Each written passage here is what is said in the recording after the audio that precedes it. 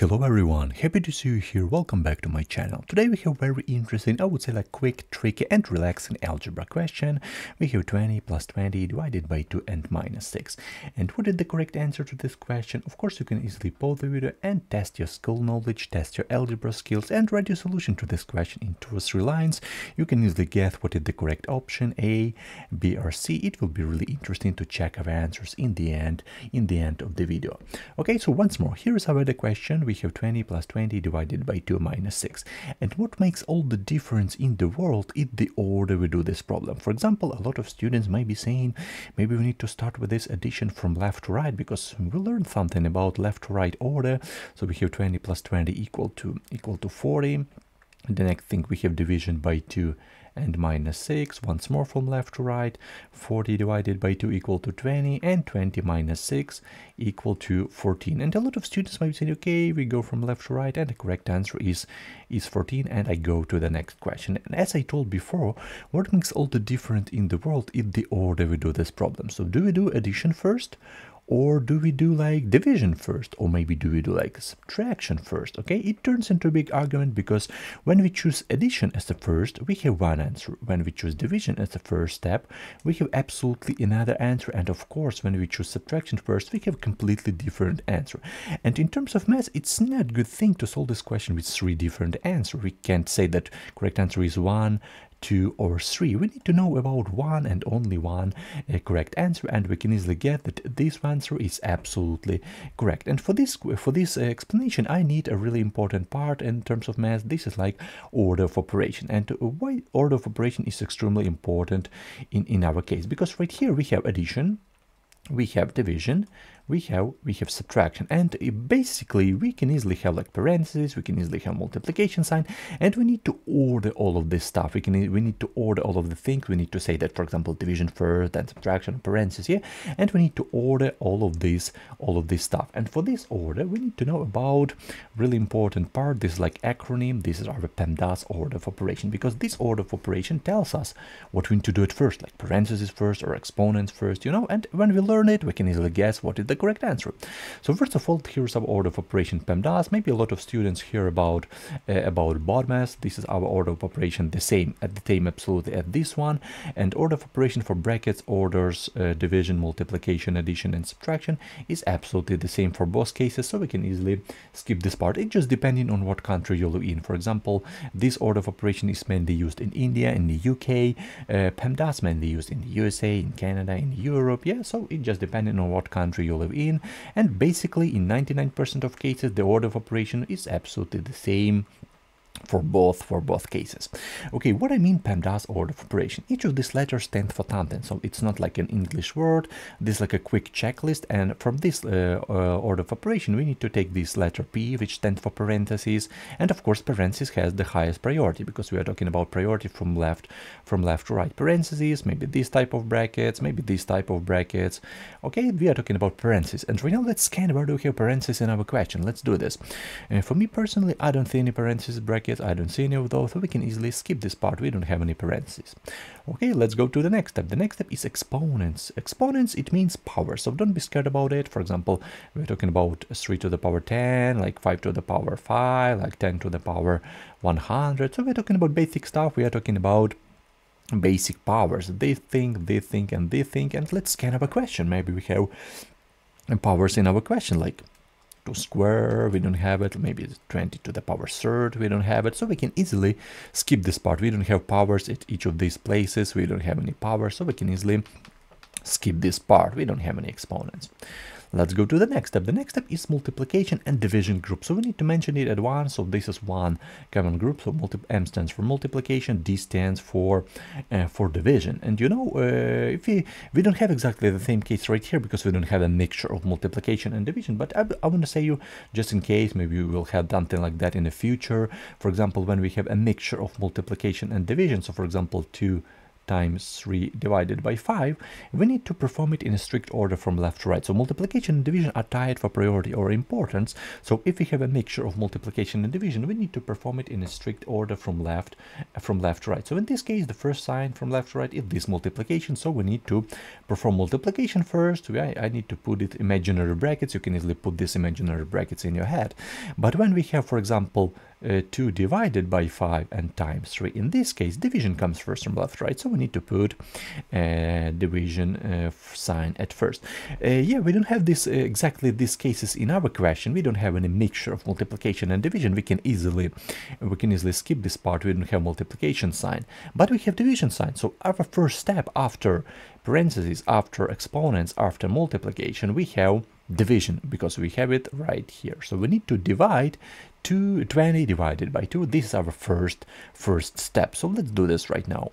Uh, so as a result, what do we have? We have 20 plus 20 divided by 2 equal to uh, equal to uh, we have 10, yeah and we have minus 6 so we complete this division division part we have it and we complete it i want to mention it with the red with the green color so we complete this division part. We have it, we complete it. We don't have parentheses, we, we skip this part, we don't have exponents, we already skip this part, and we don't have multiplication part, so we already skip this part. Okay, so our first step is this division. We can easily put these imaginary brackets in your head that every time you have a mixture of uh, addition, division, and subtraction, we need to we need to uh, do division or multiplication at first. But first of all, let's solve this question. So I don't want to go a little bit further because uh, we're talking about our last step. We have addition. A stands for addition and S stand for uh, for subtraction. And we need to we need to perform it as a group so from left in a strict order from left to right.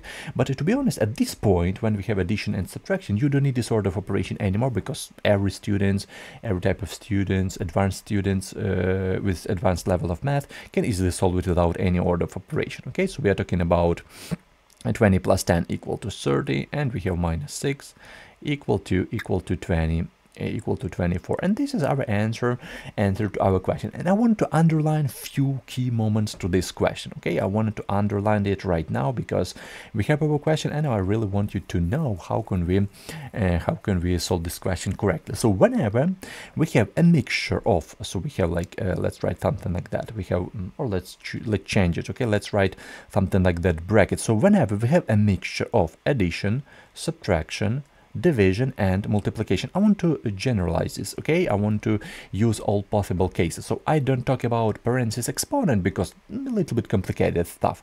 But in a lot of percentage of cases, we have this thing. We have a division, addition, multiplication, and subtraction. So whenever we have this mixture and doesn't matter, uh, doesn't matter the order. So for example, we have division, subtraction, multiplication, addition. So, you know, it's not about, uh, it's not about where do we have this sign in our question, like right here, right here. It's about the thing when we have only these mathematical operators in our question. So whenever we have a mixture of multiplication and division, we need to perform, at first, we need to perform uh, division and multiplication, division and multiplication mixture. And after that, we need to perform in conclusion addition and addition and subtraction subtraction part okay? It's extremely important part. So first of all whenever we have a mixture of addition subtraction division multiplication we need to perform division multiplication first and then addition and subtraction first. So let me let me just erase all of this stuff and i'm going to show you a quick example just for better understanding. For example maybe a lot of students watch my videos. So for example we have a long and complicated mixture of multiplication division addition subtraction. Let's use something like that. So we have 2 times 2 plus 3 divided by 3 minus 1 times 4 and plus 7 for example times 3 okay so we have we have addition, subtraction, division, we have all the thing. And whenever we have a mixture of addition, multiplication, division, and subtraction, the first thing is to perform division multiplication in a strict order from left uh, from left to right. So let's do this right now. From left to right, where do we have it? We have multiplication sign right here, we have division sign right here, we have multiplication sign right here, and we have once more multiplication sign right here. So right now let's perform it. As a result, what do we have? Uh, we have 2 times 2 equal to 4 we have addition don't forget about it because first of all we, we uh, simplify expression with with uh, uh, multiplication and division sign plus 3 divided by 3 equal to 1 minus 1 times 4 equal to equal to 4 and plus 7 times 3 equal to equal to 21. So as you can see, our first step we complete perfectly. We just uh, simplify expression with multiplication and division. So the key moment right now whenever we have a, a, mixture of multiplication, division, addition, subtraction, we need to perform multiplication, division first from left to right in a strict order from left to right. Don't forget about left to right order. Forget about uh, uh, right to left. It's extremely wrong. And in the conclusion, we need to perform addition and subtraction as well in a strict order from left to right. But to be honest, at this point, you don't need this sort of operation because everyone know that we need to perform it. For example, 4 plus 3 equal to 7. Yeah, we have 7 minus 4 plus 21 and to be honest I don't want to solve it because this is very basic thing. We have 7 minus 4 equal to 3 and 3 plus 1 equal to is 3 plus 21 equal to uh, 24 and our correct answer is is 24 as you can see we have the, absolutely the same answer is our exactly the, our, our question right now.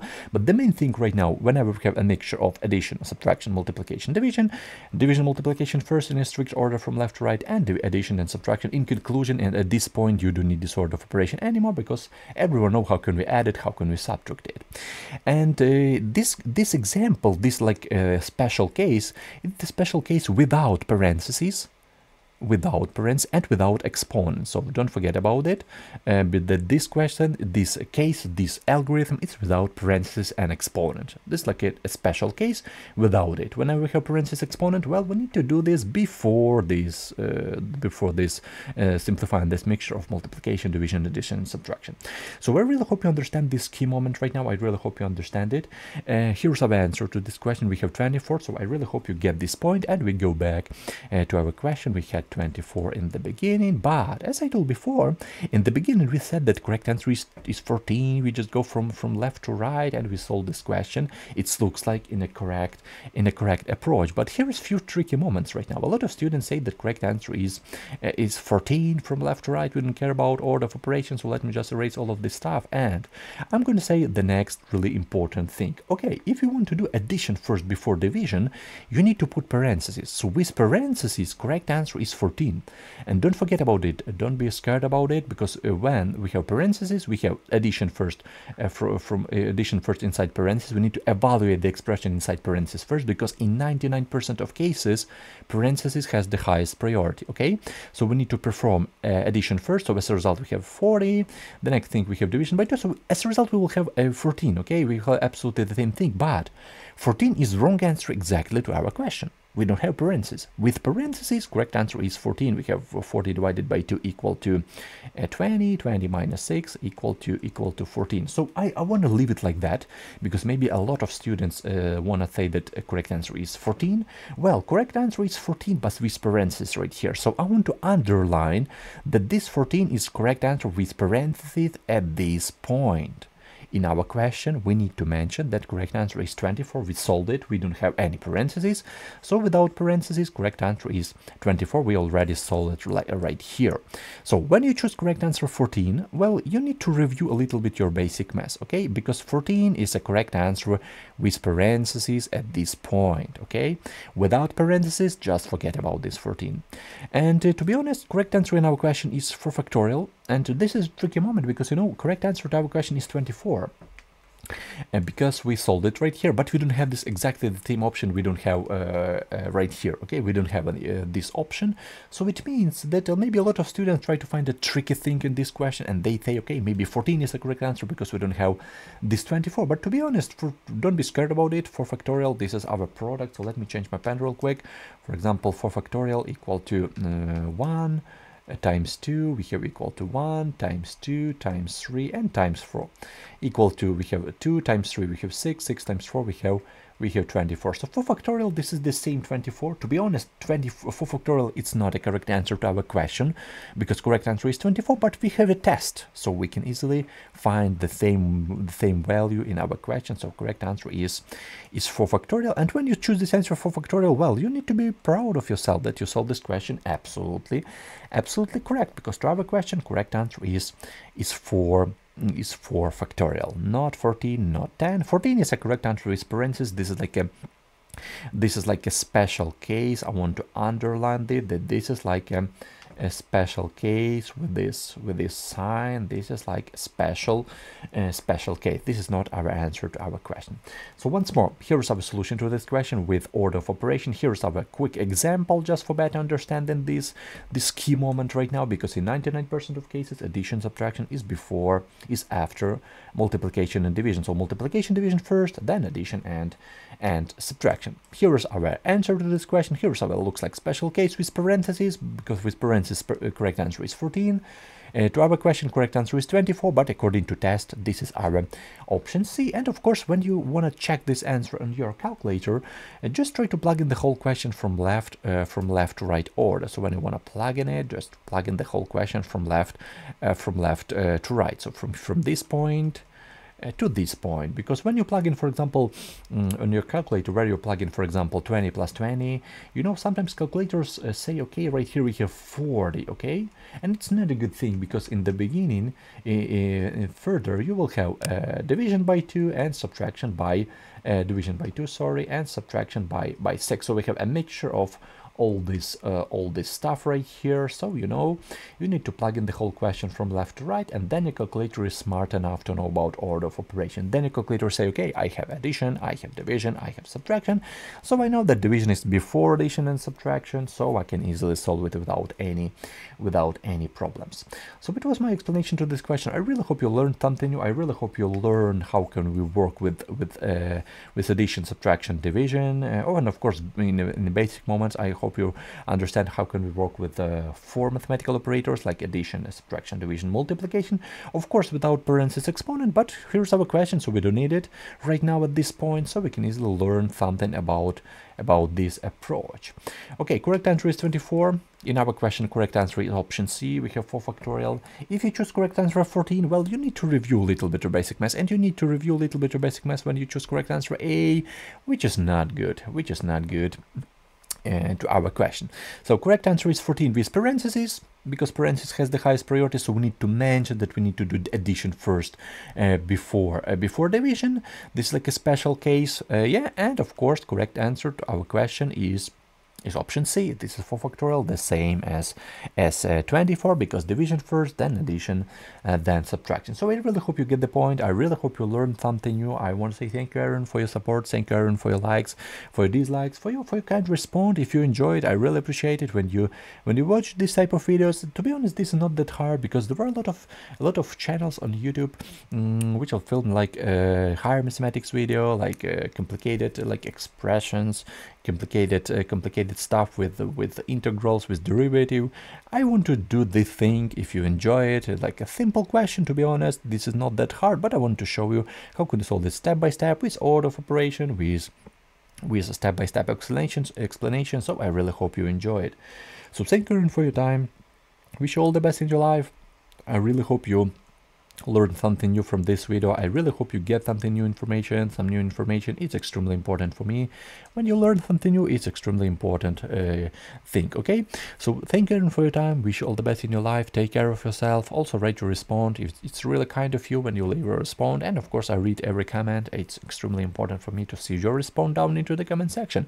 And of course, I'm really helpful. I'm really thankful that you watch my videos. And moreover, I really want say uh, I'm really grateful that you solved this question absolutely correct because this is our math question and I really think that you solved this question absolutely, absolutely correct.